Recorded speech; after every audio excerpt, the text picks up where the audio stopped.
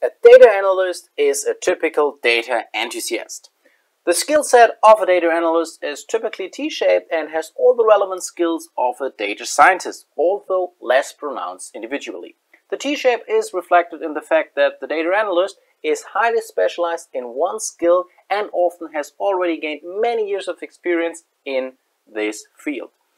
A data analyst is also familiar with the technological skill set required for this domain expertise, such as an understanding for the data warehouse, knowing the ETL processes, and being highly skilled in database systems.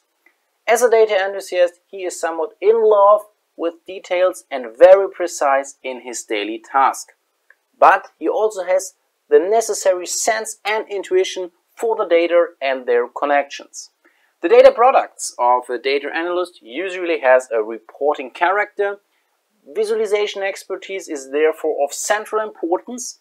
Depending on the level of expertise, it ranges from solid static reporting to interactive dashboards. Explorative data analysis is more of a development field for the data analyst. Coming back to the most important skills, it is the data analysis, being a data enthusiast and being skilled in database systems.